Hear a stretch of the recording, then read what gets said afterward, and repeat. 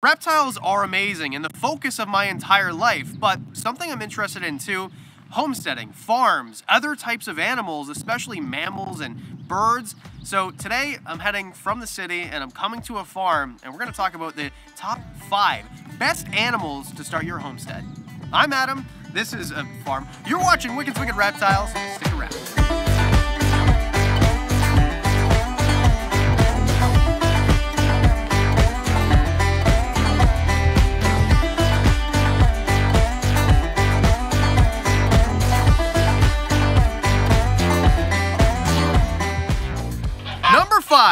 Embden geese. These aren't the Canada gooses that I always talk about how vicious they are.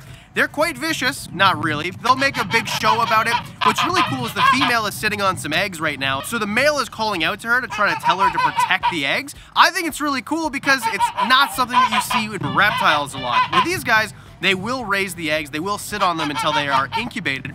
They get this size, so not super big, but big enough that I wouldn't want to be chased out of here. I'd jump over a fence before taking a bite out of one of these guys. Now, their diet is different than that of a chicken. They're a bigger animal, and they're going to eat not just protein matter, but they're also going to eat things like grasses, vegetation. They're going to eat it out of water, which makes sense, because when you think of geese, that's what you think of, water.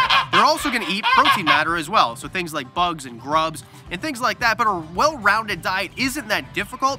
The reason that they're number five is because they're loud and they're noisy and they don't want you to get near them and they're just kind of grumpy gooses. But with that said, the reason that they're loud or the reason that you'd want them to be loud is because they're an, a guard animal for your homestead. So if you want to keep your homestead kind of predator proof or at least kind of scare some animals away, having a really noisy animal like this is something that you'd want to consider. Number four, ducks. Now these are Indian runner ducks, so you can buy a whole bunch of different ones and have a bunch of different ones. The reason that we have these ones on this homestead is they're like the cleanup crew. Imagine isopods in the reptile world, but the ducks of the homestead world because they're going to take things like ticks or things like mosquito larvae and they're going to eat them. So all the things that you don't want on your property, these guys are gonna get rid of for you. What's really great about Indian runner ducks is these are not meat ducks. These are egg ducks. So if you're looking for duck eggs, these are the ones that you'd want, or one of the species, or one of the types of species that you'd want. Now we have one in the back corner over there who actually laid some eggs and is sitting on them. They'll put about one egg a day out, but you have to be careful because if you keep them with someone like Lightbulb, the pig, the pig's gonna eat the eggs. So put them in a place where they have an area that the pig can't get to or whatever animal you're cohabiting them with, or keep them by themselves. What's interesting is you notice there's no netting or roof or anything like that, and that's because these ducks don't fly just like the chickens. One of the important things to remember, obviously this is not a care guide. I do not care for ducks, so do your research first, but always keep water. Ducks to water is a real thing, even the ones that can't fly from puddle to puddle or lake to lake. These guys here have a small swimming pool or have a puddle or a natural pond. They're going to definitely need those as well. Number three, potbelly pigs. I think that pigs are maybe the most underrated animal. They're, we're taught that they're filthy and disgusting, but that's really not the case. Lightbulb here is one of the more beautiful animals on the farm, and just simply because although he might be a little bit dirty, he's very intelligent. Pigs have a social structure similar to dogs. That's something you wouldn't think considering they live in this. It looks like filth, it looks like slush, and that's kind of what it is, but at the same time, pigs aren't disgusting animals like you might think. This guy here, he's a little bit timid, he's a little bit afraid, but he's gonna take this right off of my hand without much to do about it. It feels so weird, by the way. There he is. Pigs like this don't get this much bigger, although they can. It looks like Lightbulb is a fully mature animal, and it has the tusks on the front or the top and the bottom of the mouth as well but they're not gonna grow big like you would see with a wild pig or something like that. And some domesticated pigs don't even grow tusks at all. Now the drawback with pigs like this is they need a big space. And the big space that you give them is going to look disgusting. They're going to trample it up, it's gonna be basically mud, but a 40 by 40 pen, although it seems like a lot, you can keep things like ducks with them or different types of animals because although he looks a little bit mean and brutish, seems like a little placid guy to me. Number two, you had to see it coming on the list. If you're talking about farms and you're talking about homesteading, chickens are kind of a staple. And they're one of the easier ones to take care of as well. They need to be out during the day, they're a diurnal animal, but at night they're gonna go into something like a chicken coop. It's gonna keep them warm, it's gonna keep them feeling safe, and safe from predation as well. Although your chicken coop and your entire area is going to be fenced in so that predators like skunks or raccoons or foxes, things like that can't get to them. They'll lay eggs as well. So what I found out is in the summer, they're gonna lay about two a day, where they're only gonna lay one a day for the rest of the year. You're gonna pull these out and they're gonna be nice and warm, which was really, really cool.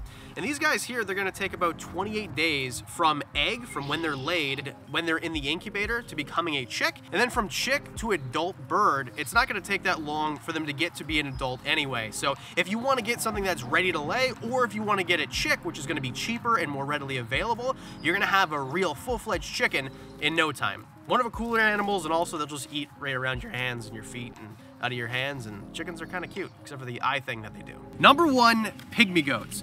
Pygmy goats are cute, and that's why they're number one. What's great about them also is they take about 15 minutes a day to take care of. So if you've got a little bit of land and you got a little bit of money to set up a pen, to put hay on the ground, to feed them alfalfa and things that they eat, this is kind of one of the more perfect animals that you could possibly keep and they don't get that big. This is a baby right here, so they're gonna get a little bit bigger than this. The males have horns that'll come in. You can see the little peakers coming out right here, and they're gonna start to curl where the females don't curl. So these guys are eight weeks old. They just off, well, they're on the bottle still, but they're gonna eat these cherry and grape tomatoes as well. And overall, if you're looking for a cute little animal, doesn't take a ton of time, there's this cute, pygmy goats. Best part about not knowing anything about farms or homesteads is nobody cares if you feed baby goats. And Oscar here loves all of this milk, almost all of this milk, in like 10 seconds. And look at his little tail too. Isn't he so cute? So anyway, this is what pygmy goats do. And then you get to wrestle a pygmy. I'm gonna put you on the ground, Ernie. You chill. See, I don't like this backing up shenanigans that you do. Okay, ready? I'm ready, I'm ready, I'm ready this time. All right, let's do it. In terms of size, if you've got a 10 by 10 space and you want to put some straw on the ground, throw up a chain link fence around it with a little bit of a gate, that's basically it. Of course, make it predator proof if your area has larger predators, but otherwise you don't really have to worry about foxes or raccoons getting these like you would some of the other animals that we found on the list. So there you go.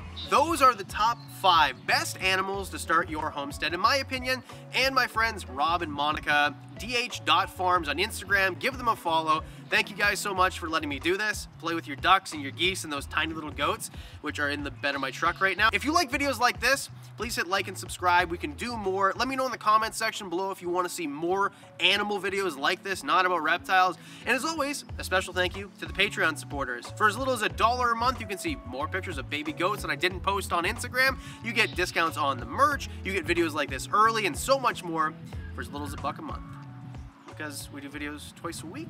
That means that I'll see you on Monday or Thursday. I'll see you next week.